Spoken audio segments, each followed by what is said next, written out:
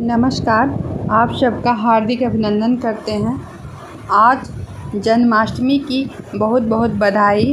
अब चर्चा करते हैं मेष राशि की साप्ताहिक राशि फल मेष राशि में चंद्रमा इस सप्ताह धन भाव और तृतीय भाव और चतुर्थ भाव में गोचर भ्रमण करेंगे। इस सप्ताह आपकी जॉब में बदलाव हो सकता है।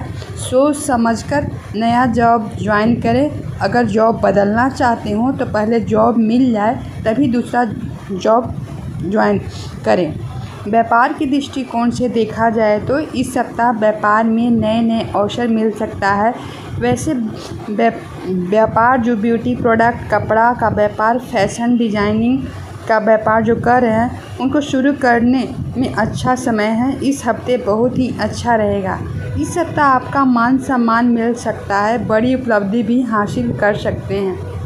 वैवाहिक जीवन के लिए सब, इस सप्ताह थोड़े समस्या हो सकता है। दाम्पत्य जीवन में मधुरता रहेगी, पर एक दूसरे को समझना और समस्या हो सकती है।